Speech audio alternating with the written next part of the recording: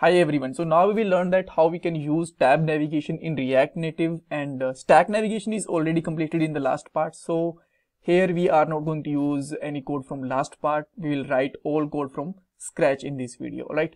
And uh, we can start with the points. So first of all, we have to install the npm package for tab navigation. After that, we will create two components so that we can just convert these component to the screens. For example, we will create uh, two components like login component and sign up component or maybe profile and uh, home page and all, all right.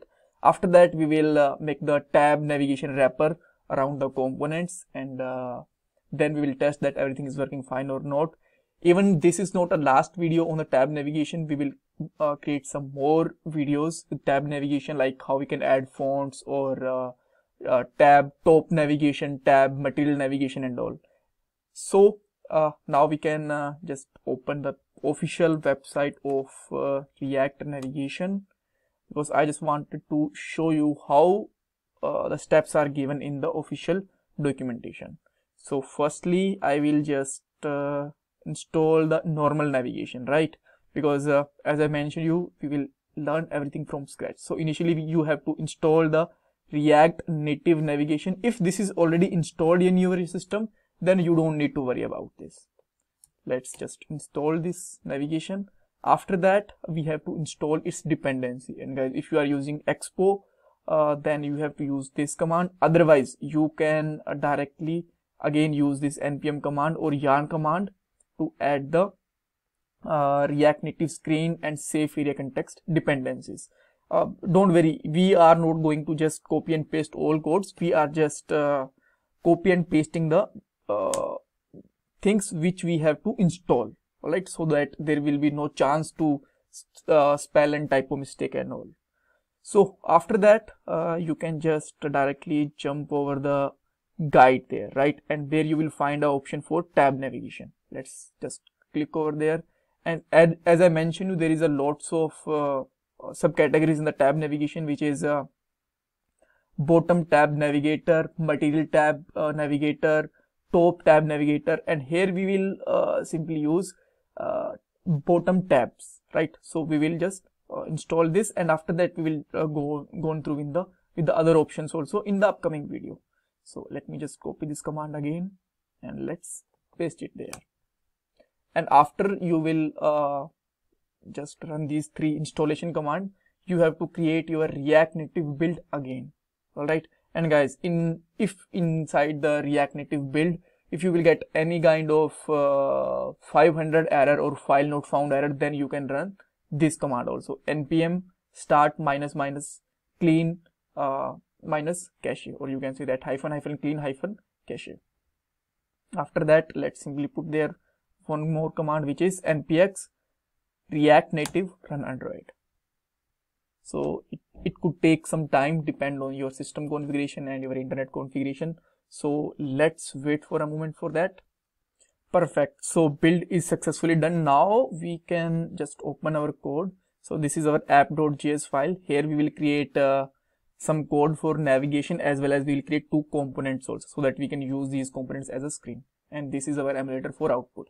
So firstly, what I'm going to do, I am importing the React native, uh, React navigation native for navigation container. So let's import there,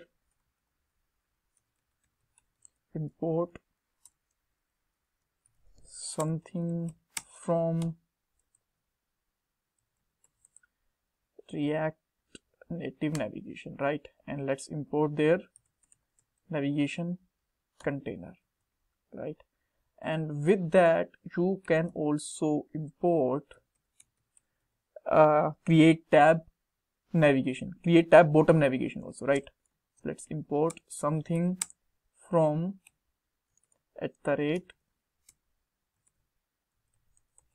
react bottom tabs and uh, there let's simply create import create bottom tab navigator. And you can create an instance of that uh, bottom tab navigator. And you can put any name. I just like to put their tab because this is a tab navigation. Keep in mind it should be outside that your component not inside that. All right after that um, we don't need this text box simply. Just use their navigation container. And let me just use it as a tag. After that we have to use uh, tab dot uh, navigator right?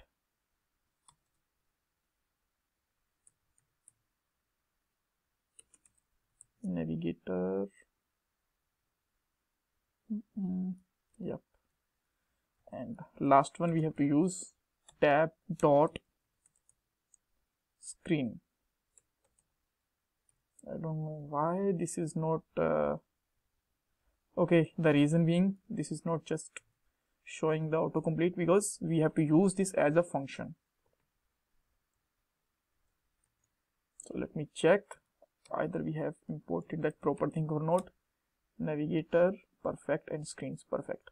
And now we need two components so that we can use them as a screen. So let me just create a login component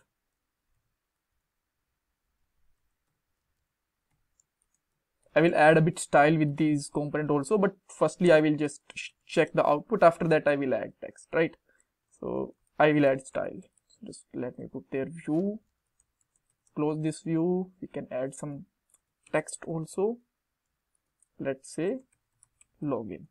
And to just making it quick I am copy and paste it with sign up. And there we can just simply say that sign up okay. Now mm, let's uh, just assign these components to the screen. So let's put name. You can put the name let's say login and the component for login screen could be uh, login. Right? And let's save it and i'm sure there should be some output here. You can see that with with the one bottom tab. So let me just copy and paste it let me change uh, sign up with sign up component. And yeah we have to close it also. We don't need to just I think now it should work fine yeah. And let me just uh, show you the tabbing. Here you can see that this is a sign up and this is a login screen because the text is bit slower than I am just zooming the screen and here you can see that there is a tab. But with the tab you can see that there is no icon and there is just a box. Actually we have to add some icons there but that thing we will learn in the next part. Uh, in this part we just want to just toggle these screens and see that how navigation work. And in upcoming part we'll add some navigation colorful things and style and all right so let me add some style to these uh, screens also uh, login screen and uh, sign up screen.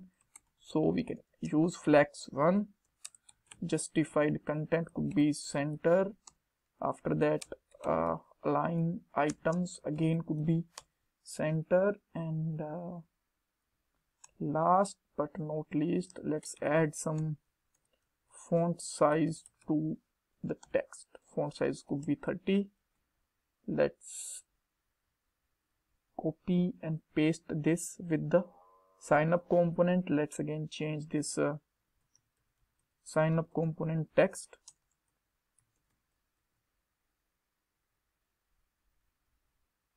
Right. So here you can see that this is login and sign up working perfectly. So if you still have any query any confusion please uh, let me know in the comment section. As i told you this is not the last part for tab navigation. We will learn more things. Here you can see that there is a uh, more options with the add badges to icon and everything. We will learn in the upcoming videos right?